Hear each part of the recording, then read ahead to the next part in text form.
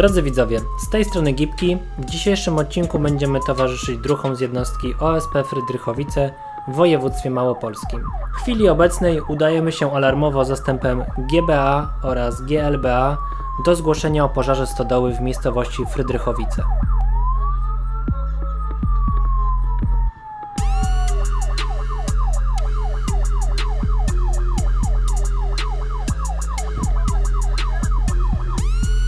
Dotarciu na miejsce i zatrzymaniu pojazdu, kierowca wysiadając dobiera brakujące elementy ubrania ochronnego i udaje się na koniec pojazdu, gdzie znajduje się autopompa.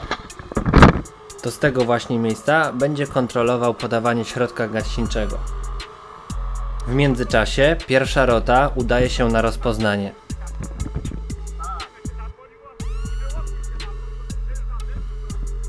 Druga rota buduje już pierwszą linię gaśniczą, która będzie podłączona do pojazdu i doprowadzi wodę do miejsca pożaru. Kierowca posiada również przy sobie radiostację nasobną, tak aby mieć kontakt z pozostałymi druhami pracującymi na miejscu akcji.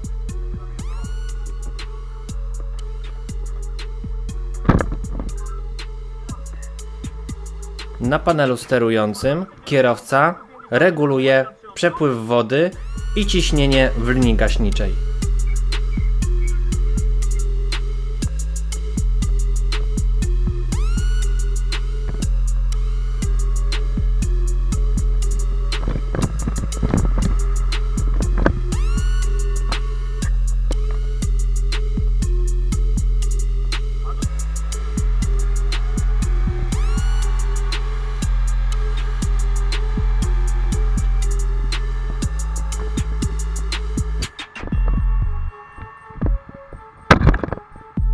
Pierwsza rota prowadzi działania gaśnicze linią W75 w natarciu.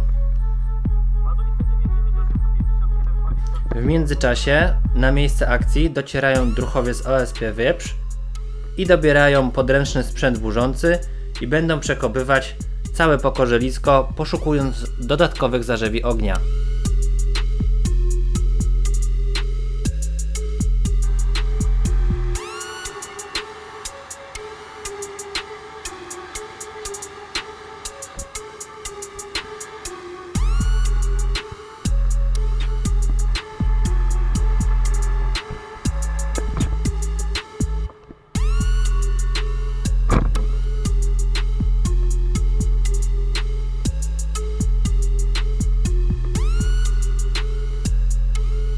Dowódca podczas prowadzenia akcji ratowniczo-gaśniczej sporządza do danej akcji odpowiednią dokumentację, m.in. listę obecności druhów podczas działań oraz przekazanie miejsca zdarzenia dla właściciela posesji.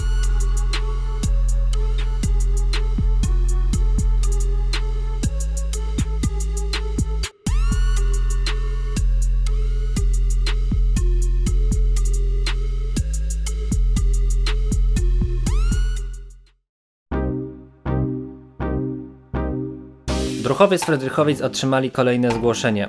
Tym razem dotyczy ono zalanej piwnicy na terenie szkoły podstawowej we Frydrychowicach.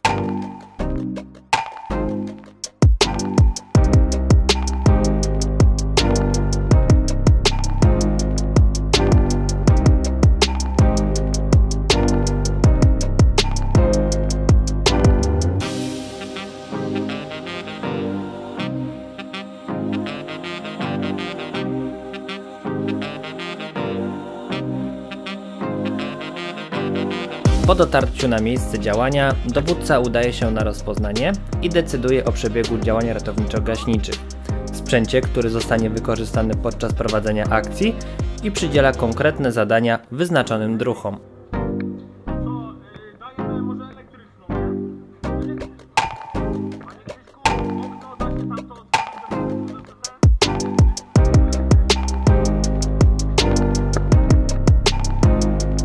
Tym przypadku zapadła decyzja o wykorzystaniu elektrycznej pompy zatapialnej, która nie wydziela spalin wewnątrz budynku i jest bezpieczna dla strażaków oraz przebywających w środku innych postronnych osób. Jeden odcinek linii tłocznej całkowicie wystarczy, aby wypompować wodę poza budynek.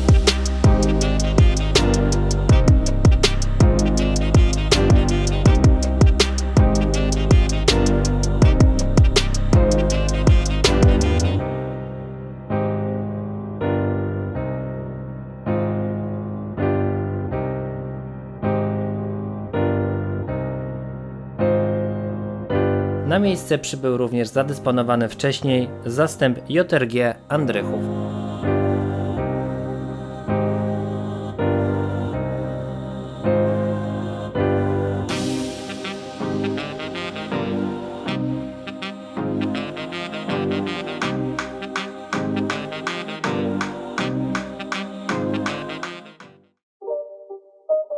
Wracamy na teren jednostki OSP, gdzie zostało przeprowadzone szkolenie z zakresu pożarów wewnętrznych, które możliwe jest dzięki pozyskaniu funduszy z lokalnego ośrodka wiedzy i edukacji w ramach funduszów europejskich. Podczas trwania dwudniowych warsztatów druchowie poznali techniki operowania prądami wody w budynkach podczas gaszenia pożarów wewnętrznych.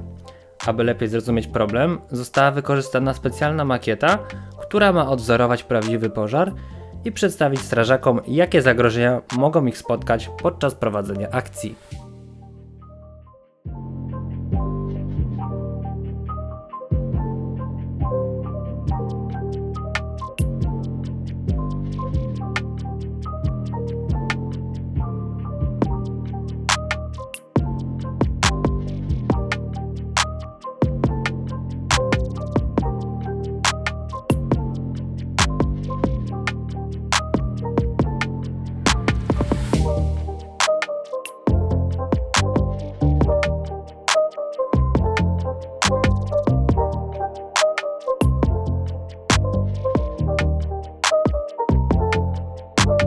Ja Wam dziękuję serdecznie za uwagę i do usłyszenia w kolejnym odcinku.